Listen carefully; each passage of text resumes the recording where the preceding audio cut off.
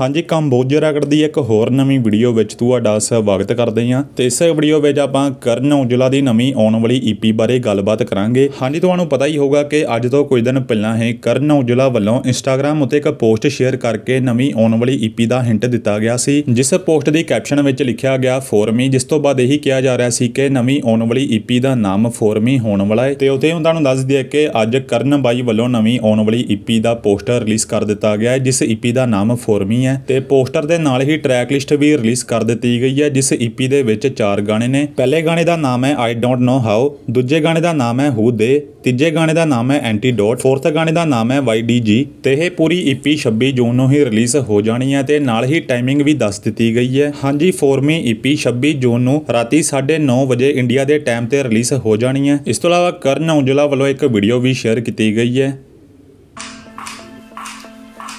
Last time it was for you. This time, it's for me. My third EP coming soon.